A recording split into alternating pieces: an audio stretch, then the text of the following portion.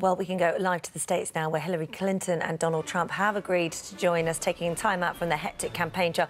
Good morning to both of you. Uh, Hillary, let's start Good off with you first of all. Good morning, Donald.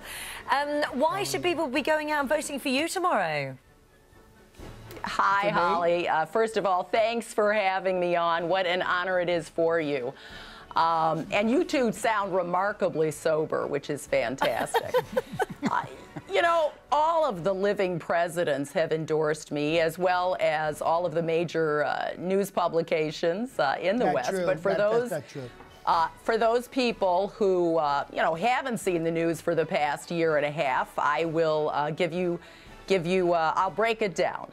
Uh, there is an orange baby man running for office. Uh, he has such great family values uh, that he's had three of them. Uh, the only thing he's had more of than families is bankruptcy. Uh, he claims he can fix absolutely everything, and yet he can't fix am. a I'm rigged election tremendous. dude you're a billionaire. You know, if Bill and I had a couple hundred mil, you know, lying around, we could have put this thing to bed months ago. Uh, but he's no good with numbers. You know, uh, he. You know, can't can't win at a casino. You know, casinos are where drunk people go and give their money away. You know, it's like, here, take it, Yeah, honey, give me another twenty. You know, Very funny. his answer to the economy is to give tax uh, breaks to the rich because we all know that when rich people have more money, well, rich people have more money. Let's talk, let's and talk the to only Donald. thing that he let's- knows of, That's good. That's actually true. The only thing he tell you. knows about character is that uh, on Twitter you can use a maximum of 140. let's, uh, let's, let's talk to, uh, to to Donald now. How do, how do you respond to that, Mr. Trump? Why should America vote for you? Nasty, nasty woman. Nasty woman, I have to tell you. Listen, I'm doing tremendous. I'm beating the pantsuit off of her. By the way, that's all she wears are pantsuits. They look horrible, I have to tell you.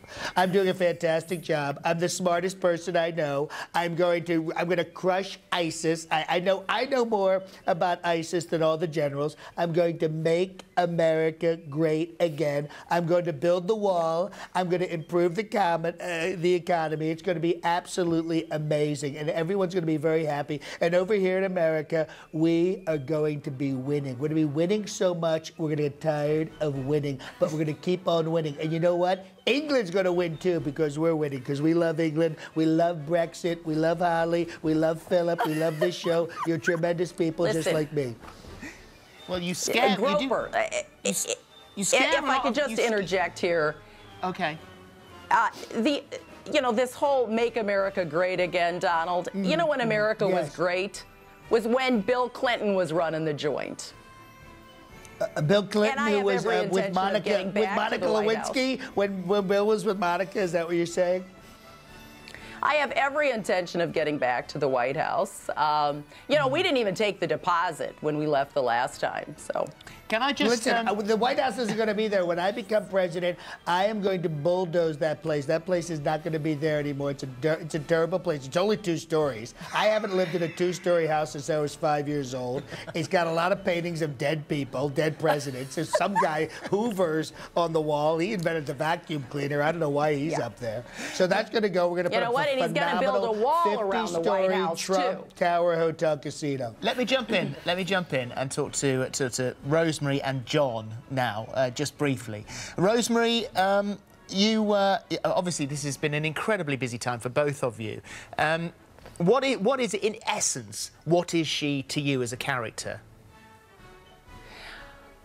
Oh wow, okay. Um, it's uh, it, it's interesting because this go round I'm having um, it's a little bit more of a challenge. When I, I started doing her in 07, 08, and she was the underdog, and so I could add all this pathos to her and. And John, you must be looking forward to having a break, whichever way this goes. You must be looking forward to having some time off, aren't you?